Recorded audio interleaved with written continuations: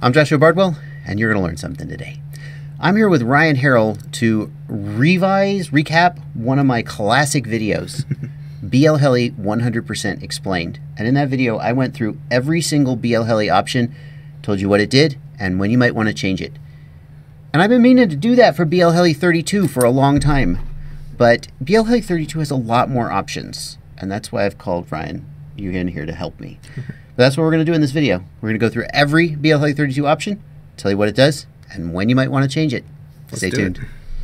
The first thing I want to show you in this video, I just learned today, and that is that if you've ever downloaded BL Heli Suite before, then you have probably been pretty sketched out by the website they hosted on. It's a MediaFire, Lots of spam ads. and you might you a lot of people well i'm sure a lot of people actually accidentally install spam and viruses and other people are like is this really the real site no this can't be they are started hosting it on google drive officially Yeah. Um, the 4712 or 4721, whatever his his handle is, um, posted it up on his Google Drive, so you can. That's that's the unofficial blogs no that's the That's official the site official- the wordpress site right. yeah their official you- site is a wordpress site It, it- there was a lot of confusion recently, actually, because BLHeli32.com was Yes. a site that was that somebody had snagged right after BLHeli32 came out, and they were they just put a bunch of information up and were getting ads ad revenue off of it. Um, it wasn't attached to BLHeli at all, um, uh, the actual devs. Um, so that site recently was hacked. So like, and it's it's gone now basically. So Wow. um, everybody was complaining. Where's the BL Heli 32? Well, that's not actually their website. So you can now get it. I'll put a link in the video description. You can get it off Google Drive. And as you pointed out, the cool thing about this is if you add it to your Google Drive, then Mm-hmm. as they release new updates, they'll just be in your Google Drive, Right. ready to go. Yep. Super awesome. So go ahead and download BL Heli Configurator, BL Heli Suite. And if you're using BL Heli 32, you might have tried to use the Chrome app. Mm-hmm. It doesn't work with BL Heli 32. It only works with BL Heli S and the older ones. Um, so the Chrome app again is also developed by a third party. It's Yes. not attached directly to um, the BL guys themselves. That's right. But the Android app is developed by the guy who makes BL Heli Suite. So There is there is a BL configurator Android app Correct. by the official. The problem is that this is a there's is all the older BL was open source, Mm-hmm. And so when someone sat down and said BL Heli Suite's kind of clunky and hard to use, I'm going to write a Chrome app. His name was Andrei Mironov. Mm-hmm. He's a Betaflight dev in addition. So there's this third party app out there, but BL Heli 32 has digital rights management encryption, and it only works with official apps Mm-hmm. Right. like BL Heli Suite, the Android app, and I've heard they're working on Mac, Wind, Mac, Right. Linux, etc. But that for now, you're probably going to be using BL Heli Suite on a PC, Right. and you can get it from this drive link. So let's. Oh, we're going to need a quad to look at these options, and this will bring us to what may be the single coolest feature of BL Heli 32. The biggest reason to switch there it is. you can have custom startup tones, including that's the Mario power up mushroom. And well, let's just start there. All right. So you're going to want to select the COM port that says STM uh, 32 electronic or STM Electronics Virtual COM port. That's going to be the, the same COM port you use for Betaflight Configurator. Correct. So um, you're going to go ahead and click connect. Good. And then it connects.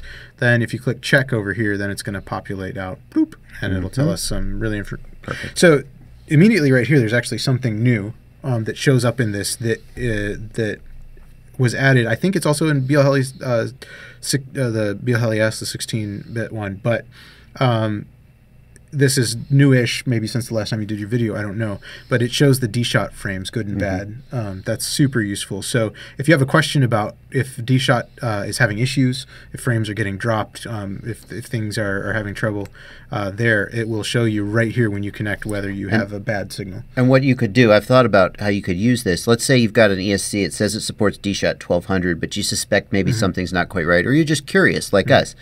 Go fly a pack. Right. Don't just do it on the bench because there's not going to be any mm-hmm. electrical noise. Fly a pack. Don't unplug. Right.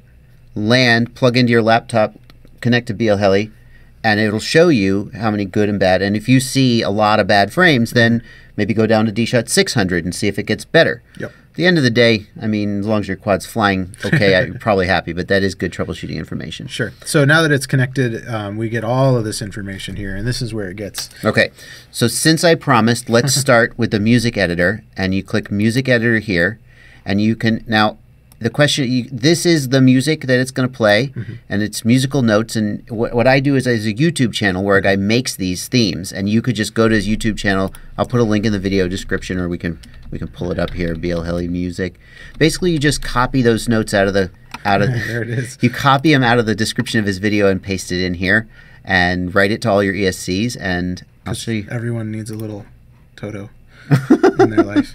and actually he's got him he's got it for all four of the motors. I'm pretty sure for most of them no this is different.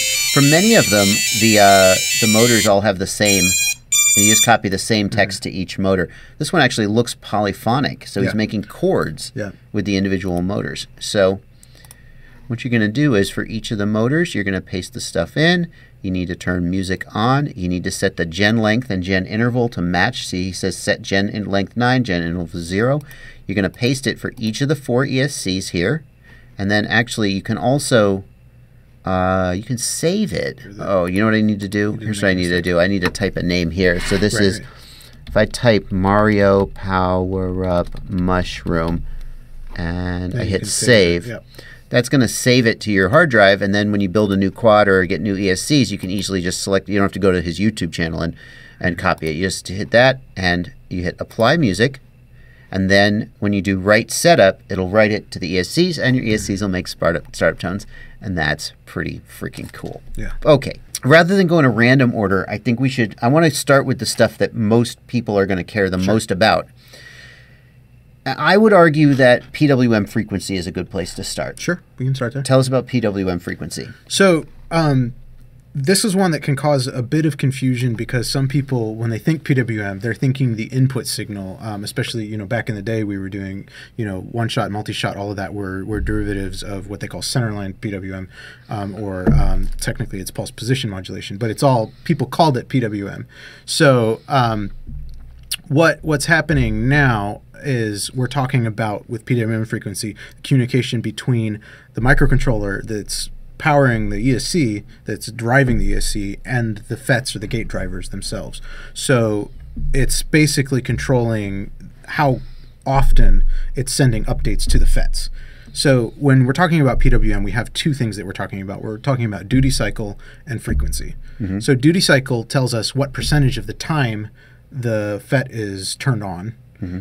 and frequency tells us how often it's updating that. Mm-hmm. So um, it's basically the period that the length of time that it's that it's using to calculate the percentage and then duty cycle being the percentage. So the PWM frequency here is telling you how fast it's sending updates to the How, how fast and how often the ESC is basically driving the motor. And the default PWM frequency in BLHeli suite is 24 kilohertz, mm-hmm. but I'm running at 48 kilohertz. Mm-hmm. And I do that for all of my quads. I mm-hmm. start at 48K. I've found that 48K can solve mid throttle oscillations. Mm-hmm. Yep. The first thing I do if you're having mid throttle oscillations is I say start at 48K and then work your way down in steps from 48 to 24. It's not always the case that higher is better. Right. Higher also often gives smoother motors at higher throttle. Mm-hmm. But we were talking about some. So as a, as a rough guideline, I would say on every build you do, set the set the PWM frequency to 48k, and then if see how that flies. If Yeah. you really want to dig into it, you can experiment. And you'll hear an audible difference when you're driving it at higher frequencies. The whole motor will sound a little bit smoother. It will sound a little bit softer sounding when it's when it's running. What are some reasons not to just set it to? Why do they default to 24 instead of 48 then? So, um, the older ESCs, the the BLHeli 16, um, or often running at 16 kilohertz. That was kind of the the midpoint that they were running at. Um, the problem that you run into is that that's within the standard.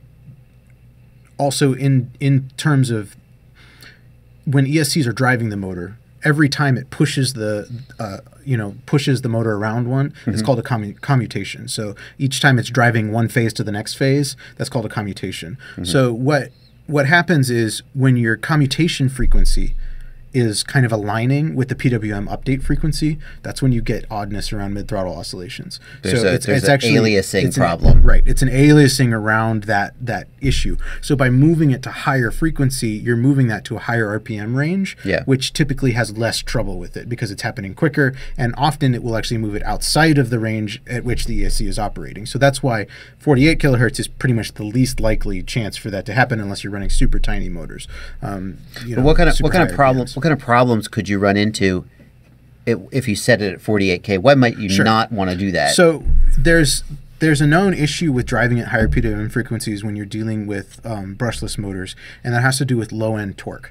Um, because you're you're updating more frequently, it it it changes the relationship between how much current is passing through at very very low um, duty cycles um, because you're updating so frequency so frequently and the duty cycle is so low um, it can actually reduce the the spinning torque at very low um, RPMs Okay. so your low end might feel a little bit softer um, Okay. you might it might um, you might notice that you have to use a little bit higher throttle at very low throttle to maintain a certain cruising point.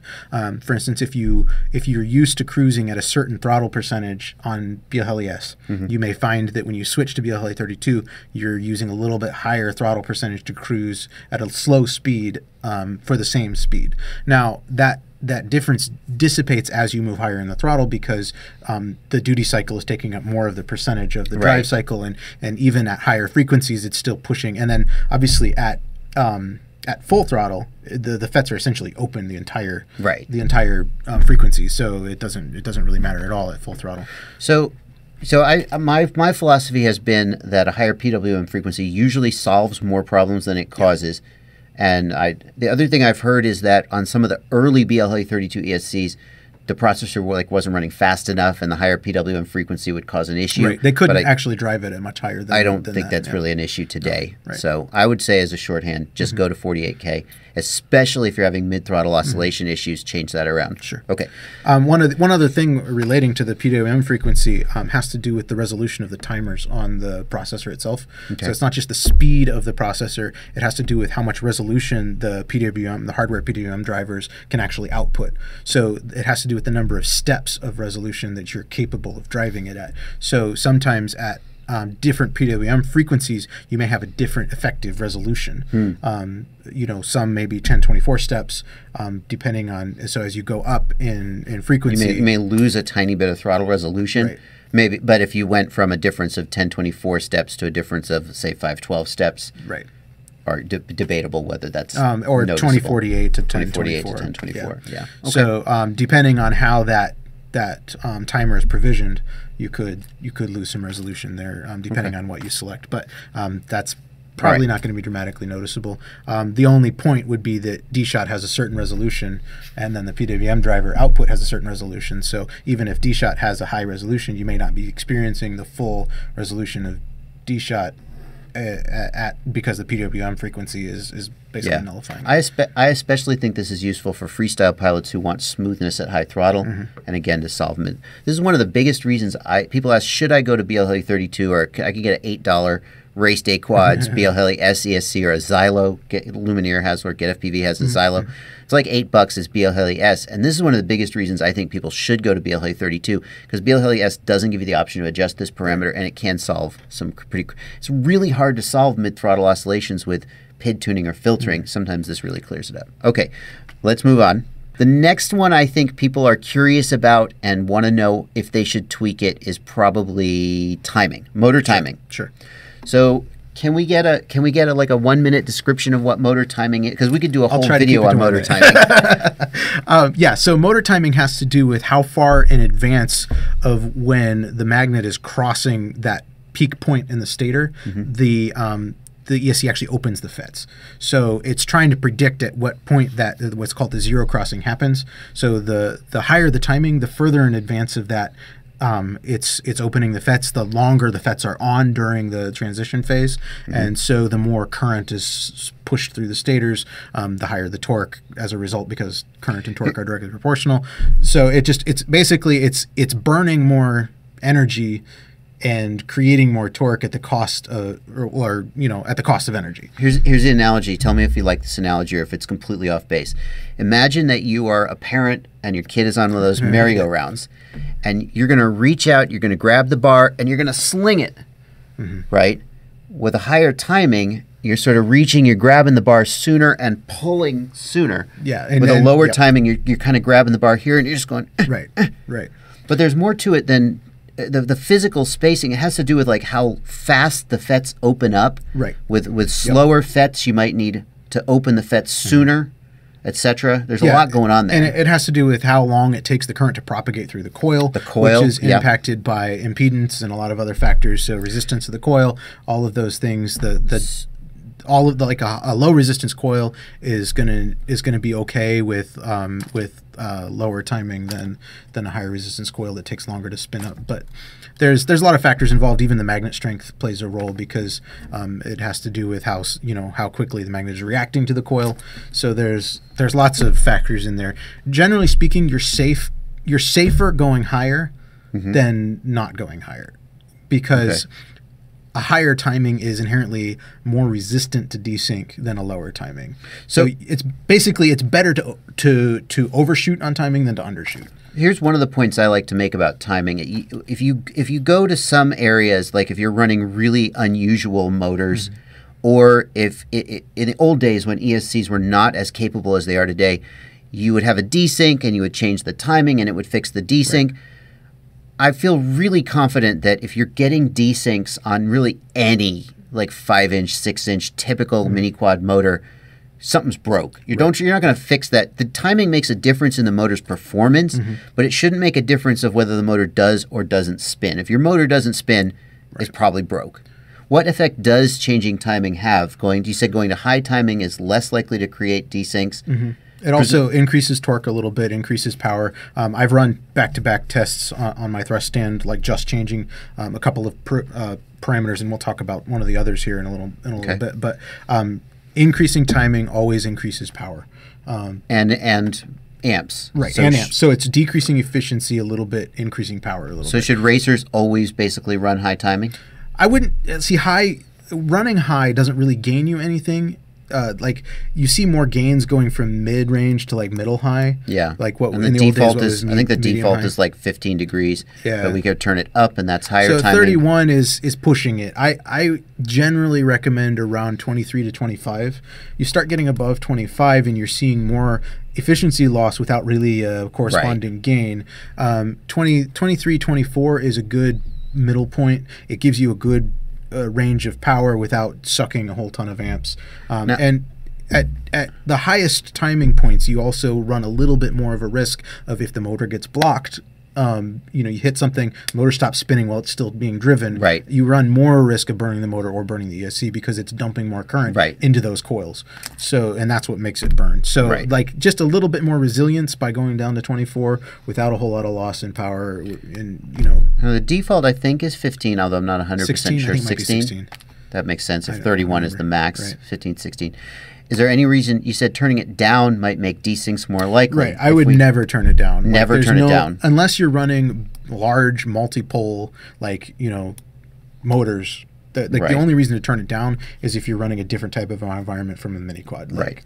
Okay. Basically, any mini quad, I, I just automatically set it to 23 or 24 on every build. And I run, and if you turn it down here, all the way to the bottom, it gets to auto. Now, what's auto timing? So auto timing will basically use the back uh, EMF Mm-hmm. to try to predict the timing. Um, and Because here's here's the thing that that is not acknowledged a lot, except by motor d- engineers and stuff. The optimal timing isn't one fixed value. It's Right. different at different as the motor spins Correct. Mm-hmm. faster.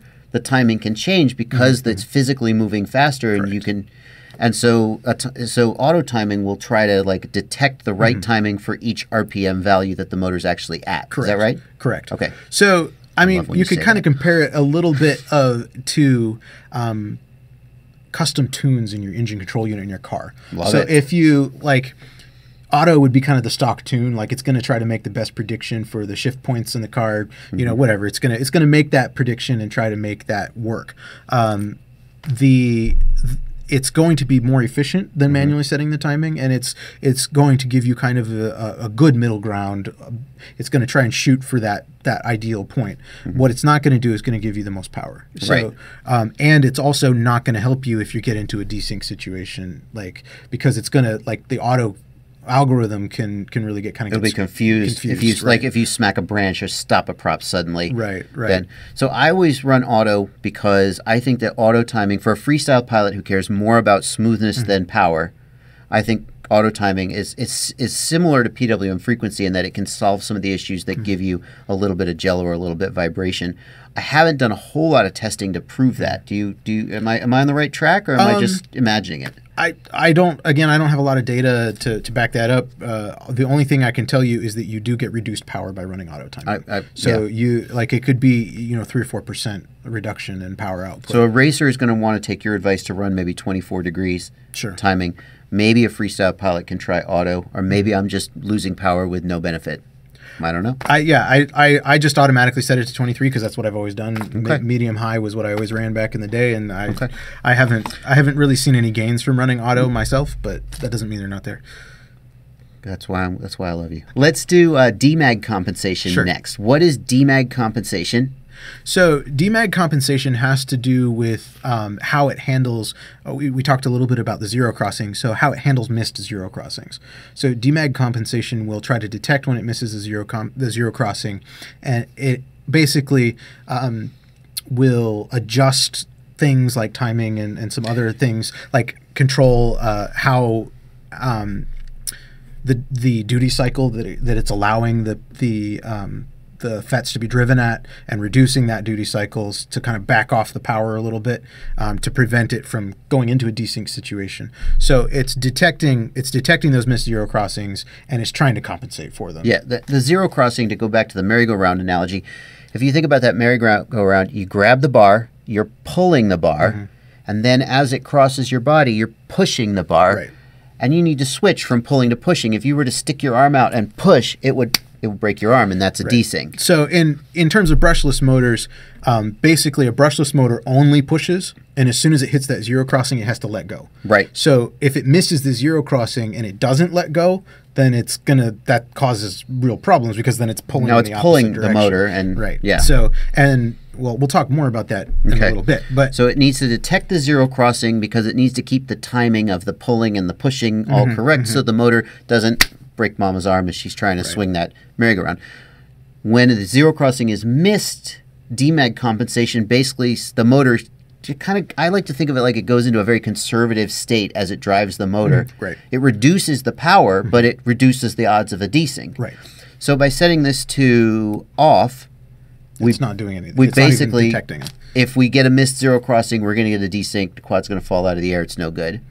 Um, I mean, you can survive several missed zero crossings. It has to be an extended period of, of it freaking out before it's a problem. Okay. Um, so, like, I, I I don't remember exactly. I talked to the devs at one point about this, but it, there's a certain threshold, um, and that's what you're changing when you Mm-hmm. Right. change from low to high. Is like, how, to what degree is it is it freaking out when like saying, okay, we need to back power So, down. so with low and high, with with low and high, basically what you get, I think, do you get a in general a reduction in power across the board, even when no, nothing bad is happening? If nothing bad is happening, it shouldn't make any difference at all. Okay. It's only changing the degree to which it reacts so when then why don't we something. why don't we just run high and give ourselves the maximum protection against desyncs? I honestly haven't been able to tell a major difference between low and high. And again, Okay. some you have to remember some of these settings in BL Heli are designed for different applications than what we're using. Right. Um, on bigger motors, it's going to matter a whole lot more. I remember hearing from people who, as we were getting into 6S before 6S was more popular, that if you're running 6S, especially higher KV motors,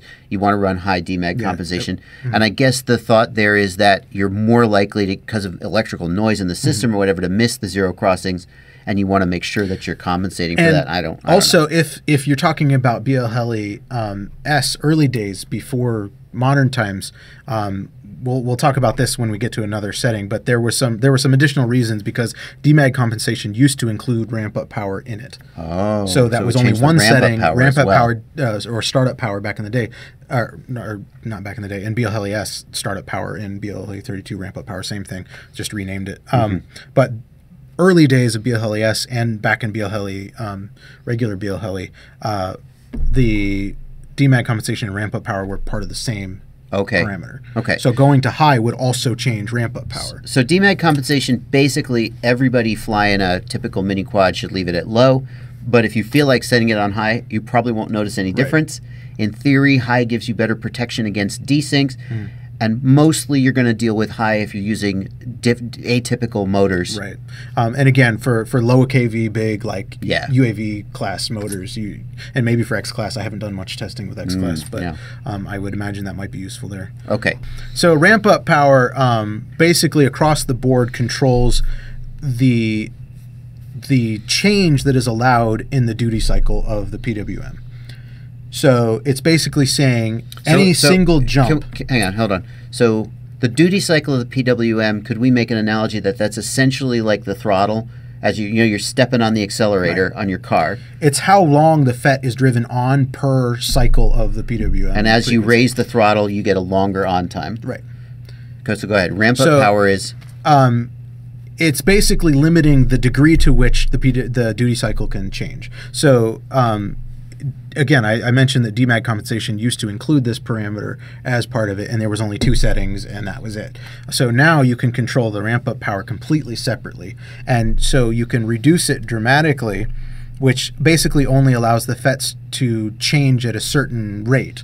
Um, what's interesting, again, I did some cross testing between ramp up power and timing, and did like a, a cross tab where I a multivariate test and um, and tested them with different settings and and looked at the response times. And you can actually go fairly low on ramp up power before it actually starts really impacting the the the actual Because- RPM accelerator of the acceleration of the motor. because because the ramp up power prevents it limits the ability of the ESC to go from say zero throttle boom all the way up to like whatever. Right. But in reality, you're seldom making those giant jumps Well, anyway. And here's the thing: even when you do make those jumps, it doesn't actually reduce the actual acceleration of the prop um, dramatically until you get quite low. Okay. And and the reason why that's happening is because there's a physical limitation on the propeller in terms of how quickly it can change RPMs. Right. So basically, what you're doing is you're preventing a lot of wasted energy during the time period which the propeller is actually not accelerating because there's the moment of inertia is too high. So it reduces that insane current peak that happens at the very Oh. beginning without really in slowing down the acceleration. Because as as we all know, a stuck motor draws a ton of Right. current The as the current is ESC, very high. the stall current. And when you raise the throttle rapidly, but the prop has not accelerated yet, essentially that's where you get that current spike. So could we could we benefit from turning this down? Yeah, I mean, I, I wasn't able to detect any significant reduction in um, in uh, Response time. response time until I was like below twenty percent. That's going to vary a little depending on your motor. A really torquey Right. motor might need more s- more right. Uh, headroom here to avoid performance loss. Correct. But in theory, you would reduce those current spikes by turning this down a little bit. Absolutely. Um, maybe maybe somebody who's running a 20 amp ESC who doesn't Actually have here. more a little more likely to fry might turn that down. Yeah. So um, actually, if you go into the Data Explorer This is Ryan's website, miniquadtestbench.com, which you all certainly know about, but if not, you can see in here. Um, I have, if you look in the Data Explorer under mechanical delay testing, um, I have a couple of things in here. So here's, um, this is with um, BLHeli, regular old school BLHeli, Okay. um, because that's the uh, ESC that I have on the bench. So this is just with startup power, not um, not ramp up power. okay. uh, so that I don't know exactly how those translate. Um, but uh, you can see here that um, I have high timing at 0.3031, 0.063, 0.125, 0.5, and then I have so I have each of these tested uh, on the different timings. So high, medium, high, Okay. and medium. So this is like um, this is like 16 degrees. This is like uh, 24 degrees, and this is like 31 degrees timing. Okay. Um, and then these are the I don't remember exactly what the percentages translate to, but um, it's uh, the stock on is 0.5 Okay. on startup power. So I guess that's 50%. So that would be 12.5%, 6.3%, 3.1%. Okay. Um, And how do they compare? so if, for instance, if we look at medium high, which is what I would recommend, we can go ahead and add in all of the different timings or the different uh, startup powers in here. And um, Should we also see amps so we can see the oh yeah, voltage right. spike? We need amps, probably more than RPMs. Let's go that way. There we go. Yeah. So you can see that pretty much all of them are the same until you get down here to um, 0.31. Uh huh. So- yeah. No, really, no, because we're not hitting the cap. Right. With the cap, uh, we're just not hitting it. But you can also see here that these current spikes drop off for each Yes. setting yeah. until like this one is really significantly dropped. But so you're seeing that current spike while the motor's not actually spinning yet, Right. but it's not really dramatically incre- impacting that the current spike, acceleration. and that current spike is so short. that People Right. might think, "Oh, it's gonna you're gonna get longer battery life." No, no, no. What where I think this is gonna actually potentially make a difference is, let's say you've got a 20 amp ESC and your motors are frying it. Well, that's that current spike is, Mm-hmm. Right. and I'm picking on 20 amp ESCs because a lot of times the that they'll be more susceptible to voltage spikes, even though Right. technically they're rated to the same voltage. Yeah, and I run 20 amp ESCs on some ridiculous a good, setups. a well spec 20 amp ESC will do fine. But if you're popping ESCs, well, just go buy better ESCs. But if you're if you want to try reducing this a little bit, that may help reduce those transient current spikes. right. So So you change this? Do you leave this at default on all yours, or do you I have do. a value? I, I haven't change really. it? I mean, I haven't. Again, I don't run into things that often. So and there's really no reason to increase it then, since most of the time yeah. we're not we're not hitting that limit anyway. Definitely, but I think you could you could probably get down to twenty percent uh, to to you know somewhere between twelve and twenty or ten and twenty percent without causing a dramatic increase if you have in- a- or decrease in handling. If you have a thrust stand, or if you're a racer who's doing laps very consistently, you could you could compare. Mm-hmm. Most pilots, though, you probably if you lower it too much, you'll get reduction in output power, and you, Right. you may not even notice a difference because you're just not that sensitive. yeah, so- it's, I mean it's not dramatic. If you look at the curve here, Yeah. um, What's it- the difference in thrust? By the way, it does it does get there. right? It gets, there. It just, gets there slightly. How much longer does it take to get so there? that What's the difference? Uh, like 100 milliseconds. no, no, no, Is that no, right? no, no, no. Sorry, Um, that's like I misread it. Microseconds. yes. So that's like eight milliseconds. Okay. Well, that's not So nothing. it's not That's not nothing, nothing. but it's not dramatic either. yeah. Okay. But I mean, if you look at this, the, the whole the prop is taking you know How long does it take to get to RPM to, Like- to, to a total of? you know 120 milliseconds. That's a, that's So- a, that's so it's maybe ten percent slower, five five to ten percent slower. Yeah. So That's- that's, like that's 160 milliseconds. To So you definitely- there, you but a lot definitely of acceleration happens here. Want to err on the high side, otherwise you're going to be hurting your performance right for very with little. little gain. Okay. Um, so and the the other thing that that can help with is again we talked about block blocked props and things like that. So it's going to reduce that a little bit so that um, the likelihood of blowing an ESC due to an impact um, Mm-hmm. on the motor or the motor locking up is going to be lower with the lower startup power. Sorry. So here's here's where I want to that that brings me to the next thing we should talk about, which is current protection. So current protection is another way you can protect against block props and fried ESCs. And this this came in with BLA 32 ESCs that have current sensors in them. Basically, the ESC, since it's detecting the current anyway, Right. if you go over you know, certain amps, it'll basically just clamp off and, and slow Right. lower the throttle. Correct. Now that's off by default, or did I turn that off? No, it's I off by think so. default, and and uh, there's an argument to, to be made for leaving it off because um, when you have current limiting uh, turned on, it uh, it will have some impact on those acceleration points. Mm-hmm. So uh, if you look here, even even with the timing reduced, we're looking at 130 amps just for, for a few Right. microseconds or Right, milliseconds. Right. This this is I mean by this is like seven milliseconds in, it's completely stabilized. Right. By four milliseconds in, it's reduced by like three quarters. That that So- number that to, to you and me that's not surprising because I think that number may surprise a lot of people. Well, that's actually more than that. That's that's like 95 milliseconds in, and that's like 30, like 40 milliseconds in. By 40 milliseconds, it's it's down in a reasonable range. Right. That that number may surprise a lot of people to that the spike is 130 amps. Like that, that the ESC does doesn't immediately explode. That the mm-hmm. battery doesn't, right. because you got four motors and they're all doing this. You could you could for a few milliseconds at a time pull 400 amps, Yeah. potentially, but then it just drops off immediately. right. and right. It just key. happens. It happens so fast that the battery and the ESCs don't even have time to react Right. to it. So, like, eventually over time that will wear on your hardware, um, and that's you know if you're going to have a failure due to sustained use, it's going to be a, a result of that kind of Yeah. that kind of damage over time. But it's minuscule. So turning on current protection will will sort of edge take the edge off those peaks. Mm-hmm. What effect does that have like on flight performance? Uh, well, it's just going to basically reduce the maximum rate at which your propellers can change RPMs. So you you might feel a little bit more prop wash. You might feel a little bit less snap when you do Mm-hmm. instant stops and instant rolls. Um, but that's uh, if uh, you know I- discovered this back in the day because Kiss has implemented current limiting. That's right. Once time. again, something that Kiss did first. Right. Credit where credit's so due. it um but as a result their their acceleration curves were always much slower than the other ESCs and that's one of the reasons I always preferred the feel of BL Heli because it's much sharper, it's much crisper. But freestyle pilots loved Kiss. I have heard this conjecture that out. Kiss ESCs were smoother because they had current limiting, which made the props respond slower. Yep. Which sounds like a bad thing, but if you're going for smoothness, Yeah, it isn't. So, um, so, so we've got current protection. We could turn it on, and I don't know. I mean, you could say you might be tempted to say, "Well, I've got a 25 amp ESC. I'm going to set it at 25 amps." No, no. The ESC can handle bursts.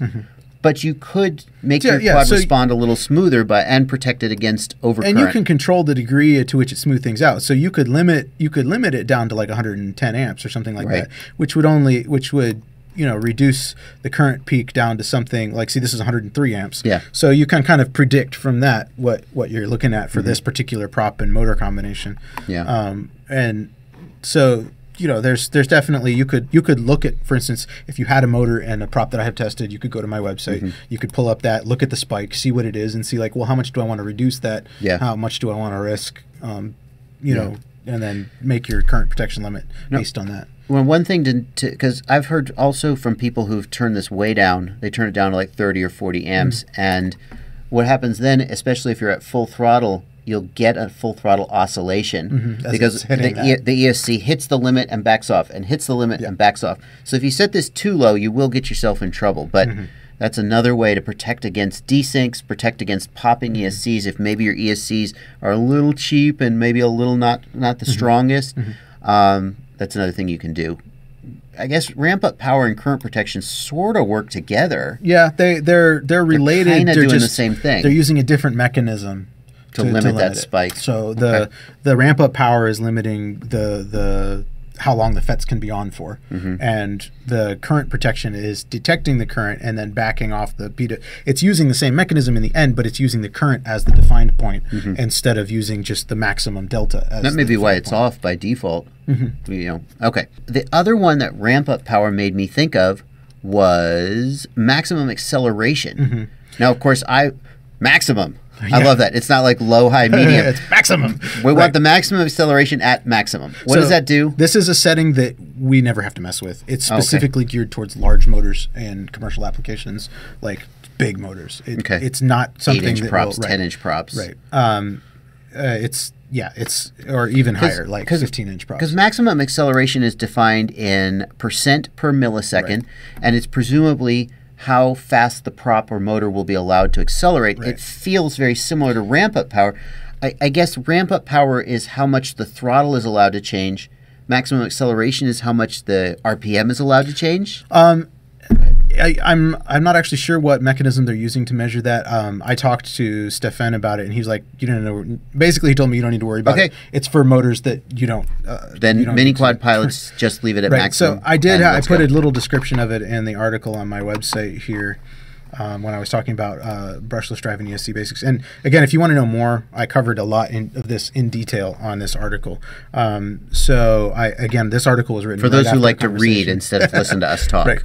Um, so this was this was written right after a conversation I had with the devs of BL Heli because I wanted to make sure I got everything right.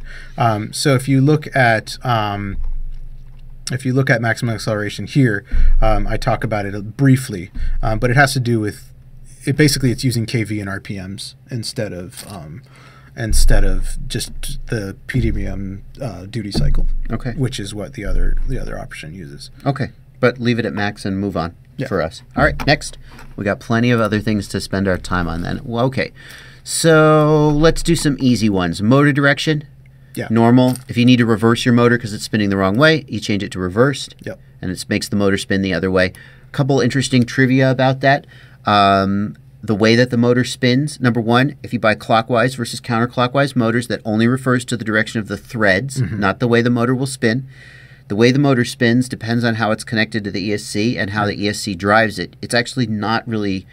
Uh, I'm sure an electrical engineer could predict, but basically what we do is we just wire them up. We wait, we see which way they spin, Yep. and then reverse them if we need to. And there's an interesting uh, thing discussion on this particular point because uh, maybe, six months a year ago, there was some people claiming that they were getting desyncs when the motors were reversed versus normal. But I spent an extensive amount of time talking with the devs of BL Heli, and they're like, they're literally in the code, it's arbitrary. There's Right. no difference between the way the motor is driven Well, that's why it's a or bug. reverse. No one expects it. So right so, like they literally they took apart the code and they're like no there's nothing here that would make that happen so Yeah. um, if, if something like that happened it was it was coincidence Yeah. not So then we've got bidirectional 3D. That's going to be used if you're like Zoe FPV and you you want them to be able to spin, make Switch spin, directions. switch directions in mid-flight. It's important to know that if you set them to bidirectional 3D, the zero throttle point becomes 50%. 50 percent. So you also have to go into Betaflight and enable bidirectional mode. If you Mm-hmm.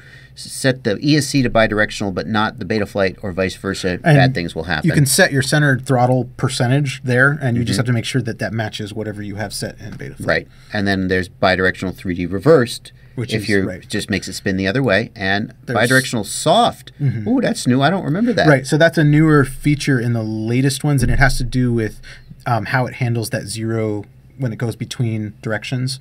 How it how it handles that acceleration. So um, when it's not the zero crossing as in the No, motor no, zero no. The throttle. When the you're throttle going from zero, pushing right. one way to pushing the other way, right. and the motor Um, has to reverse, the motor has to like stop first, Right. doesn't it? Right. Otherwise, So- you'll get a desync. So it handles how that transition happens and how particularly the throttle is handled right around either side of that zero point. So, So, uh, soft is a little bit softer, a little bit slower. in Actually, I'm completely unfamiliar with this, but as a 3D pilot, would you recommend people use that? I honestly I've never tried it. I don't know. There's Okay. I know that um, the the devs added it specifically to answer some problems that some of the 3D pilots were having in certain circumstances. So there is a situation when it's applicable, but I don't know anything about Well, that we'll to, maybe I'll get a guest. I'll call Zoe and ask Yeah. her. Okay, motor direction done, easy. Temperature protection. Sure. So knock that out. that's just basically using the onboard temperature sensor in the MCU to, to let you know if What uh, does it do when you get over 140? It just C? limits the throttle, so it's Okay. basically limiting how much power is it's it's able to output. So if the temperature keeps rising, eventually it will cut the power, but it goes through like a staged thing where it will reduce, and if Mm-hmm. Okay. the temperature doesn't reduce, then it reduces further Yeah. until it finally will A cut lot, off. a lot of the ways, a lot of the times when you smoke a FET, well, I don't know about a lot, but sometimes when you smoke a FET, I've heard of them getting so hot that literally the, the, the solder solder, melts, Yeah. And then the FET moves and you get a short. Yep. So in theory, temperature protection should fix that. I Mm-hmm. don't mind. I don't really mess with this. I guess you could. I mean, electronics are perfectly happy at 100, 140 C. That's Mm-hmm. a that's a good.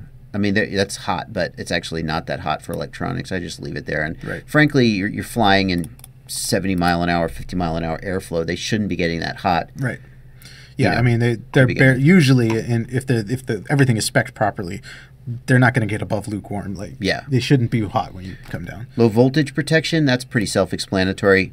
Uh, This is more used in like airplanes. Right. With a quadcopter, Don't do it.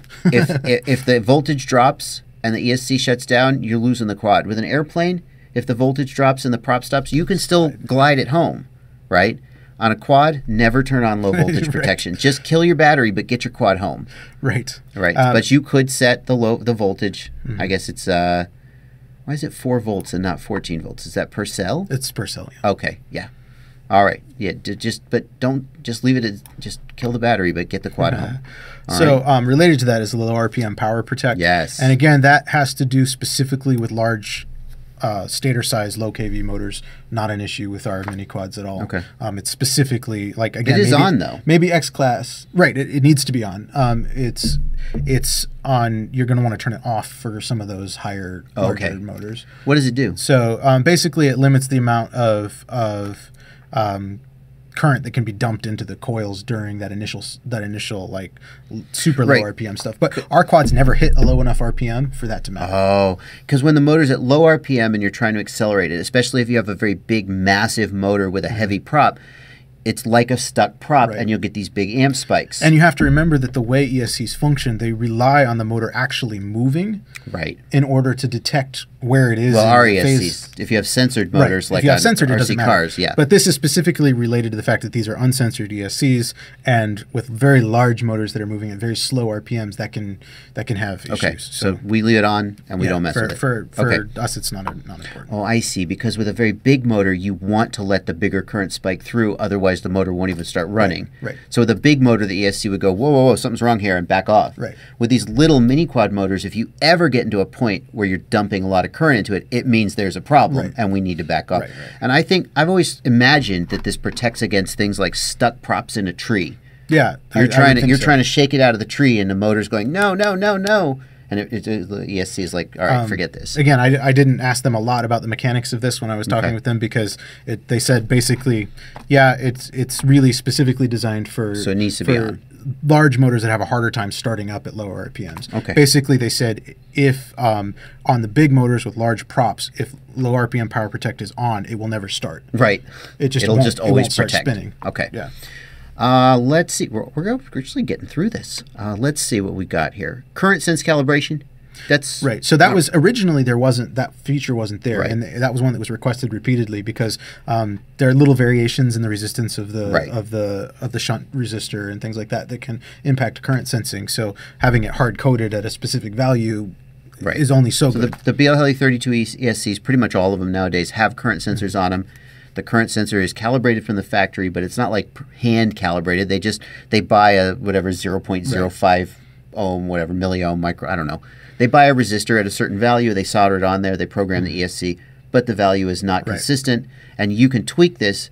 But here's what I've always wondered: Betaflight will give you the amps, the total amps, the mm-hmm. sum. right. But if your amps are off by whatever 5%, yeah, you could take all your ESCs down by 5% just by doing this. But what if one ESC is off by 5% and the others are dead on? So you really would Well, need to, from the one window you can the see the individual yeah, amp draws. So you would uh, you would power and battery. yeah. in So you would just run up the motors and then look at that and Yeah, anybody got you time really for that? Yeah. Here's what you could do if you're really a masochist. Because I don't like spinning the motors because it's such a hassle. Put a weight on it to as a load. And, You could, that would work. Yeah, because then at least you're not spinning a prop. right. What I do is I use the, the milliamp hours in to, and out. Right. I charge a battery to full, I and then I run so many run it down to you know so many milliamp hours, and then I charge it back up again, and I compare the milliamp hours Right. out to in. That gets you pretty close, and you don't have to deal with spinning props. Right. You could theoretically do that using the motors tab. You spin the motor Just one let it- motor at a yeah. time. Let it run. You you let it run, and then you see, but just don't. anyway, Um, it's not worth it. So the auto telemetry feature yeah, here is off and on. is a is a useful thing because um, a lot of guys, particularly on some flight controller and ESC combinations, where the ESC is using an analog current sensor, Mm-hmm. not not the D shot current sensor. Um, and it's feeding analog signal back for current sensing to the flight controller.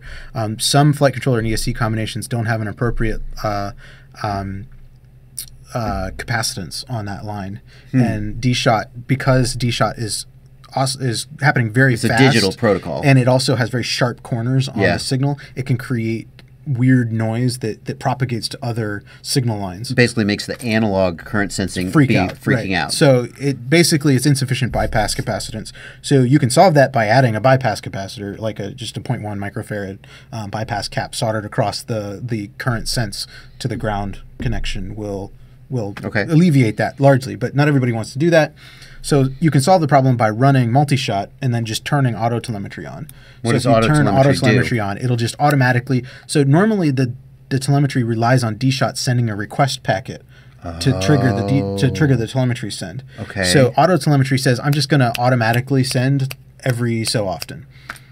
So, So then, is then, then that the FC doesn't the flight controller doesn't have to request the telemetry. The Correct. ESC just sends it. correct. Even if you're using multi-shot, you Right. can then use ESC telemetry. Right. Wow. So I, there is some weirdness with you. Like I, I haven't worked it out completely. Where um, possibly if you have all four ESCs with auto telemetry turned on, I was going to say because might do something. normally weird, all four ESCs go to the same UART. Right. It's, it still And then- would be that way. and then the flight controller Right. pulls them one at a time. So this may not work if you're if you're using um, if you're using multiple ESCs. I think it really is designed particularly for airplanes that want Okay. to want to get D shot telemetry. so mini quad pilots would probably never use Yeah, this. I don't know. I tried I'm not it. sure if we even could. I tried it with um, Oh, hang on. I knew this was going to happen. I lost the battery. That's okay. We've still got we Oh. still got the desktop recording, but I got to get another battery. so We were talking about auto telemetry. Right. So with auto telemetry, um, it can cause issues if you have multiple ESCs going at the same time with auto telemetry on. I was able to get it to read some telemetry data with all four ESCs and with all four ESCs doing auto telemetry, but um, like I couldn't get the current data and some of the other Yeah. data out of it. So, Okay. but I was able to get like voltage data and, and a few other things. So Okay. you could try it, see if it works. But I think it's generally designed for where you have one ESC. Um, in, in the environment and getting telemetry data off of that. So, for instance, if I wanted to use a BL Heli ESC on my test bench and just pull data from one ESC driving one motor, Right. I wouldn't have to use D-Shot. Right. You could use I could just use multi-shot. multi-shot and then read the the D-Shot packets off of it. So- Okay. Great.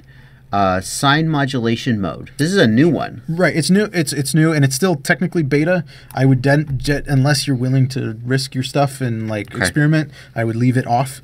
Um, but basically, um, the way we talked briefly about commutations and how the the ESC pushes the motor around, basically. Um, from phase to phase. So the default way it does that is is through a, basically a simulated sine wave with it's called trapezoidal This is drive. probably over on your on your website, Yeah, isn't it? Where is yeah, it? we- Where is it? Um, so this is a great this is a great picture of it here. So this is what our ESCs are basically doing normally. Mm-hmm. So they're they're basically turning on off on off on off, and they're simulating a sine wave Right. uh, through trapezoidal um, through a trapezoidal uh, method.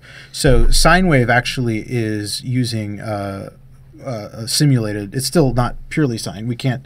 It's obviously a digital Right. microcontroller. We can't completely create a sine wave. It's a much higher resolution sine right, wave. Right. So it's it's basically attempting to to drive that in a more sinusoidal pattern instead of just just alternating the the phases directly. So what does that? Does that make more efficiency? Does it make smoother running motors? Yes, uh, in both cases, it can it can make it more efficient. Um, so there, it, it it also may reduce power slightly, and it has a little bit of trouble with high RPMs. Oh. So, um, in fact, I believe what um, what BL Heli is doing in sine wave is technically a hybrid sine drive. Yeah. So they're using sine for low RPMs, but when it when it gets Oh. towards higher RPMs, it morphs like it kind of transitions softly into tra- into trapezoidal drive Hmm. um, at the higher RPMs to avoid the higher RPM issues, but it still gets the gains of efficiency and smoothness um, at the low RPMs. That's interesting. So, beta feature,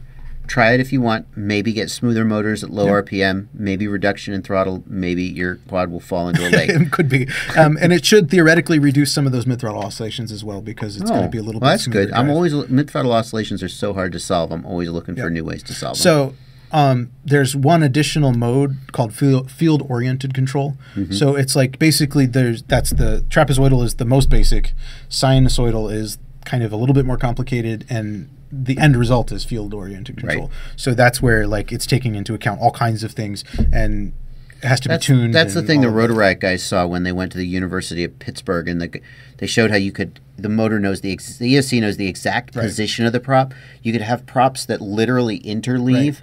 And the ESCs would just prevent them from interfering. I don't know what the point of It's, that well, is, it's, but it's basically using a vector to Right. drive the motor instead of um, everything else. But the problem is that that has to be tuned for each motor and propeller and everything. So, like the moment of inertia changes, it can screw up the whole thing. It has to be tuned like a, it has its own like PID controller essentially. Ugh, ugh, so that's all we need is another PID controller. Well, right, and it works for things like um, DJI where they control the entire power system Right. and they know every aspect of it and they can tune it from the factory and it's good and they don't have to touch it again because it's done. Yeah. So for for something where we're changing motors, changing props, you know, we're throwing different things on but there all the time. modulation we might if you if you want to try it try it okay um let's see we're good here we did this whole column uh, let's get these out of the way min throttle max throttle Sure. that's used to calibrate the endpoints if you're running multi-shot one shot then you go through esc Mm-hmm. calibration there's a video i have about how to do it however We're not going to go into that too much because if you're running D-Shot or any it of the digital use them at all. protocols, they have no effect whatsoever. Some people, there's a myth out there that says, oh, even if you're running D-Shot, real quick, enable multi-shot and And calibrate. calibrate. I mean, this- I this I always go in and manually set it to the, the typical range, No, just no. in case. Nope, nope. No, no, You're- not you're for that. propagating the myth. I'm not propagating You're the myth. I'm saying myth. just in case I need to switch to multi-shot and I don't want to have to go through the recalibration procedure. Okay. That's Okay, that's fair. Like I don't care about the myth, But all I'm saying is that like I always set it anyway, just be, so I don't have to go back and fix Okay. it if I want to experiment with something later on. Fair enough. Fair enough. If, you're I'm in there already, I might as well just. If you're going to run multi-shot or one-shot or any analog protocol, go through the calibration process. It'll set the values automatically. Though I wouldn't necessarily just tweak them. Well, I don't even bother calibrating. I just set them. You know the I- value? yeah, I just I do just- 1016 on the low end and 2004 on the high end, and it's good. Okay, don't do that. Just run the calibration. He knows what he's doing. And then center throttle is only really relevant if you're If doing doing- bidirectional yeah, it because the ESC enable. doesn't know Yep. what center throttle is. Okay, So we can Yeah. talk about these briefly. brake on Um, stop. So there's the percent now? yeah, it's, Oh, I, thought it was on off. yeah. Okay, I- brake on actually stop. seen that. So what- tell them what brake on there's stop does. two different methods of braking that happen, and this actually goes back to your analogy of the merry-go-round. Mm-hmm. Yeah, yeah. So um, the damped mode, which is also known as complementary PWM in the Okay. SimonK days, and Mm-hmm. and it really complementary PWM is a more accurate um, kind of picture of It used what to it's be actually called doing. damped light. Right, Is so- another thing it was called. right. Or braking. Or active it's braking. It's all or yeah. So all of that plays plays into into each other. But um, basically, what it's doing is when it uh, normally when it's detecting the zero crossing, it's firing ahead and then stopping at the zero crossing. Mm-hmm. So in complementary PWM, it waits for the zero crossing and then fires. And that basically, instead of driving the motor, drags it, Right. right? So it's basically pulling in the opposite direction, effectively pulling. Basically, what's it do, what it's doing is turning the motor into a generator. Yeah, a generator. And, So and it actually backfeeds current through the system. and it's exactly what Tesla does when you're braking, Right. you have, and and it's charging the regenerative braking. Right. Now, many people hear that and they think, oh, by turning this on, I'm going to get longer flight times. The amount of current it's- when you have a three thousand pound car do, doing regenerative braking, you generate a lot of energy. Your prop, it slow. The advantage is that it slows the prop down way way faster. Way faster. Props can spin up really quickly. And it used to be like, especially an old quadcopters. Remember how bad yaw was? Mm-hmm. Right. As soon as you yaw, the quad would go because the down the down spinning prop was a lot Yeah, slower than yep. the up spinning prop. With damped light, So, or you know, active braking was probably the most significant development in ESCs. You have to development have in it. ESCs You have to have ever. Um, it made a huge difference. And that's why here we have non-damped mode. The default with BLHeli 32 is that damp light braking is always on. right. They actually didn't even used to let you turn it off, but Right. now you can. Although I don't know why you would. A lot of people are using BL Heli 32 ESCs on airplanes. Okay, so if you're So- running airplanes, you turn it off. Yeah. You turn you turn non-damped mode on, which is turning braking off. For mini Right. quads, this is always off, right. Which means braking is on. Right. But then what is brake So- on stop? And that's where a lot of people get confused. So this is where the second the second type of braking kicks in. Mm-hmm. So basically what the ESC can do is it can essentially open the FETs just across the board Mm-hmm. and like short circuit it. And you can simulate this. You can feel the Mm-hmm. effect of this. Take a tweezers or a pliers or something and touch the two uh, motor wires to get short them together. Yeah. And you then try to spin And the try and motor. spin your you'll motor. like, You want to don't do that. Don't do that when your battery's plugged in, you numbskulls. When your battery is unplugged, just take something metal, touch on your four in one ESC or on your regular ESC, short circuit the three motors, and try and turn, and you'll get a bunch Yeah. of resistance. It'll be hard to turn. Yeah. It's kind of cool. So basically, it opens the high side, the the side of the FETs that are facing the um, the the motor and lets them connect so that it it instantly stops the motor from spinning. I mean, it's like Yeah. dead stop. now, why would you want to do that on a Um, quad? you wouldn't you wouldn't. at all. Ever. So the again, that is useful for things like um, gliders, Right. hot, hotliners and stuff, where they, they have folding props. Foldable props. So they want when they stop that, they want that motor to stop spinning immediately. Because a spinning, a freewheeling prop is drag, and gliders Right. don't want drag. Correct. And that lets the prop fold up. I will tell you this, though. I do know some people who run this on quads because they like the fact that when they disarm, the motors just go boom. Yeah. They Well, and think it it's used to be cool. on. It used to be on in Yeah. the, old BL Heli days. You couldn't turn it off, um, and Kiss never had it on ever. So Yeah. like when you when you break to zero on a Kiss, ESC, it just freewheels down. Yeah. So when you cut the throttle completely, they just glide Yeah. down. Now, Um, don't, don't get confused though. If you're armed, the props are not going to stop. right This is only when you disarm. when you go to full zero on the, Yeah. on the and and Yeah. a and a and on, on on your drone, the flight controller will never allow it to Yeah. go to full zero. So this is normally off, and when you stop, basically your motors stop from friction and drag. Right. But if you think it's kind of cool that when you disarm, your motors just go stop, then you can turn this on. Yep. There's but but mostly it's for glider pilots. Yeah. Okay. And the, the tunability in particular is for glider pilots as far as how fast it stops. I need to say that that sound you heard was my sh- shoes grinding together. Because I don't know if I'm going to be able to cut that out, and people are going to comment. That was my shoes. You could have just blamed it on shoes. me. Okay, okay, we're almost done here. Startup beep volume. Sure. So that that just one. controls the Do do do do do, or in my case, right. the power up. If you turn So if you turn, this up too high, you'll fly, fry your motor. okay. So don't turn it up too high; you'll Right. fry your motors. I've seen it happen. Like somebody accidentally janked it all the way up. They plugged in, and motors smoked. Okay. Oh.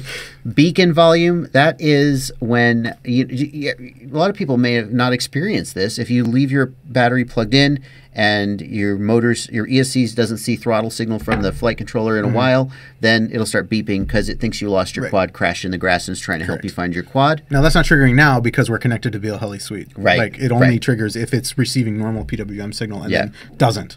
And so that- it has to actually receive that and go through the initialization sequence first. Okay. Or it won't trigger. And that's set to 80. So presume, and that doesn't smoke motors. There was a time when it smoked motors, but they changed the way the phases are driven. Mm-hmm. Right, right. And now it doesn't. Right. So presumably, if you wanted to, you could turn this up to 80 Yep, safely. Um, turning this up louder will make the quad beep louder, but also more likely to smoke motors. Mm-hmm. Be careful with this because this is going to be happening when you've crashed in the grass somewhere and, it's- you can't find your quad. blocked. Yeah. And it's going to be beeping and beeping and beeping until you find it. If you smoke a motor, don't forget that you might not just smoke a motor, but you might start a freaking forest fire. so don't turn this uh, too high Yeah. and smoke motors. So can- and that beacon delay is how long it takes before it starts beeping. I usually turn it down to about two minutes. I usually turn it. I usually turn it up to the max or off. I turn it Yeah, off, off. yeah. Because I. u- uh, I It saved me a couple of times. So I have I have DShot motor beep, beep- beeper. Oh, see, so I- as long as I haven't fail safed, I can pull a button. I can pull a, a switch on my yeah. transmitter and make the motors beep. And it's so annoying when I'm working on the bench and they start beeping at Right. me. Yeah, I always turn it off until I'm finished, and then So you can turn it up to an hour or down to ten minutes. You can set it however you long. I set it for two for like. my, me personally, but like I said, it saved me three or four Yeah. times, and I don't have. I don't have a beeper or the DShot beeper set up on my quads. I just haven't done DShot so- beeper will save you. and the thing is, if you've if you've disconnected the battery, you're not going to be beeping anyway, so Right, it doesn't matter. exactly. And have we done it? I think that's it. Is that everything? We've everything. 100% explained BL Oh, uh, uh, There's one more. Throttle cal enable. Oh, what's that? Uh, so oh, if yeah, you yeah. uncheck that, uh, the calibration sequence won't work. you can't do an analog. Now, And that's really important to know because if you did accidentally uncheck it and you go to try to calibrate your motors and you jack the thing up and turn them on, it just oh, goes you're in boot- trouble. Yeah. What does it break anything? Does it? Well, I just I mean they go full throttle like as soon as you. No, no, no, no, no. I don't think so. With all due respect, it goes do do do do. And it just doesn't do anything. It doesn't initialize. but it can go full throttle if depending on where Okay, in the it plug-in could. cycle You don't. Yeah. The, the reason you would turn this off. There's no. If you're using DShot, it doesn't matter. It doesn't matter. Yeah. So you could turn it off, turn it on. Oh, It doesn't. this one died. I can't believe it. Well, you could cut that last part out anyway. I can't believe it. That battery must not have been fully charged. Wow. Uh, well, we're gonna have to finish this video. Well, good thing we're almost done. All right, that's it. That is BLHeli 32, 100% explained. I've been Joshua Bardwell. Ryan Harrell. Happy flying.